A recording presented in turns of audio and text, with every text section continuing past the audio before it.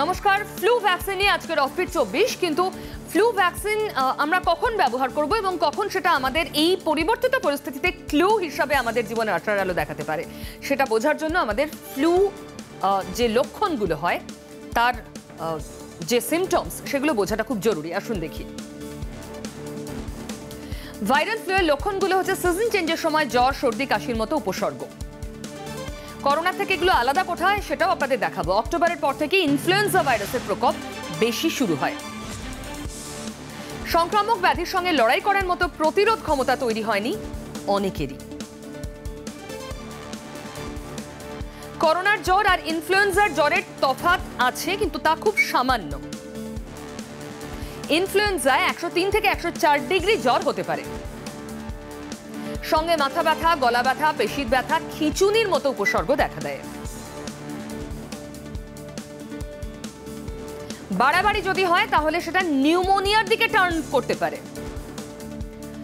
আর এরপরই আমাদের সঙ্গে যারা আছেন, তারা আমাদের বোঝাতে পারবেন, যদি আমরা একটা ফ্লু ভ্যাকসিন নিয়ে রাখি, তাহলে কি করোনা কালে আমরা বাড়তি কোনো উপকার পেতে পারি? আমার সঙ্গে কারা আছেন, আগে জানা দরকার ডক্টর জয়ন্ত দাস। এই মুহূর্তে আমার সঙ্গে রয়েছেন surgeon doctor Shashwati Sinha critical care specialist আর দুজনের সঙ্গে ফোনে four zero five nine four zero two zero four zero two three দুটো নাম্বারে আপনারা কথা বলতে পারেন। আমি ডক্টর দাসের কাছে শুরুতেই আসব। এই ইনফ্লুয়েঞ্জা ফ্লু ইনফ্লুয়েঞ্জার যে ভ্যাকসিন নর্মাল ফ্লু ভ্যাকসিন সেটা নিয়ে রাখলে আমরা এই সময়টাতে কি আলাদা কোনো উপকার পাবো? কি উপকার পাবো? ইনফ্লুয়েঞ্জা ভ্যাকসিন যদি আমরা সত্যি নিয়ে থাকি তাহলে আমাদের ইনফ্লুয়েঞ্জার ক্ষেত্রে খানিকটা প্রিভেনশন হয়। কিন্তু পরিষ্কার করে একটা কথা মনে রাখতে হবে এবং জানা দরকার এই ভ্যাকসিন কোনোভাবেই করোনা প্রতিরোধে সাহায্য করছে না।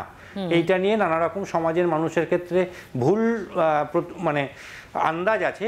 সেই জায়গায় প্রথম দিনে প্রথম লাইনে এটা ক্লিয়ার হওয়া দরকার।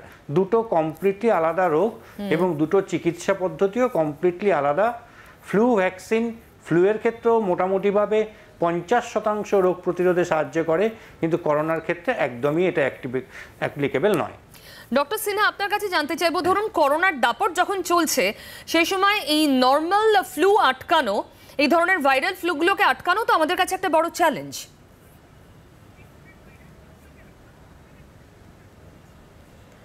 হ্যাঁ ডেফিনেটলি এটা একটা চ্যালেঞ্জ কিন্তু এটা আমাদেরকে এটা সবচেয়ে বেশি ইম্পর্টেন্ট যেটা আমাদের জানতে হবে যে এই জুলাইয়ের পর থেকেই কিন্তু ফ্লু ভ্যাকসিন এসে যায় এবং ফ্লু যে সিজনে যেটা পিক অফ ইনফ্লুয়েঞ্জা এটা প্রিভেন্ট করার জন্য যে ভ্যাকসিনটা নেওয়া দরকার, সেটা কিন্তু ইয়ারলি যেটা শিডিউল সেই হিসেবে নিয়ে যাওয়া দরকার।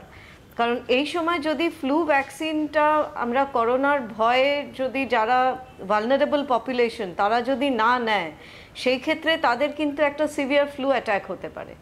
তো সেই জন্য সেই জিনিসটা জেনে রাখাটা খুব দরকার। হুম হুম।